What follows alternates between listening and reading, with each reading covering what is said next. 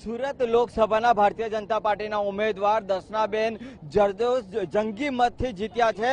જે પ્રકારે સમગ્ર ગુજરાતની અંદર ભારતીય જનતા પાર્ટીના જેટલા પણ ઉમેદવારો હતા તે જે રીતે લીડથી જીત્યા છે.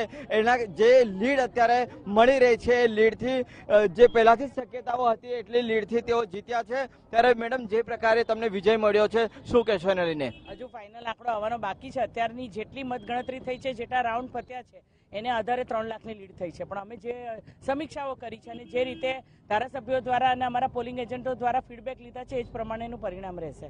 સમગ્ર દક્ષિણ ગુજરાતની પાંચે પાંચ બેઠકો ઉપર એ જ પ્રકારની સ્થિતિ છે. છવ્વીસે છવ્વીસ બેઠકો ગુજરાતની ભારતીય જનતા પાર્ટીની જ આવશે.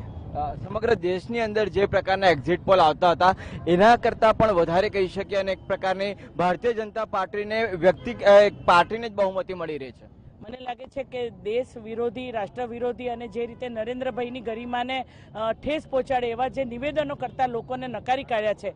ચોકીદાર ચોરના નારાને લોકોએ બિલકુલ સ્વીકાર્યો નથી અને એને બદલે એમની વિકાસની રાજનીતિને સ્વીકારી છે જેનું પરિણામ અમને મળી રહ્યું છે. વિજય ઉત્સવની કેવી તૈયારી હવે? ખૂબ સરસ રીતે ચાર સાડા ચાર પછી અમે લોકો જુદા જુદા વિસ્તારમાં નીકળશું.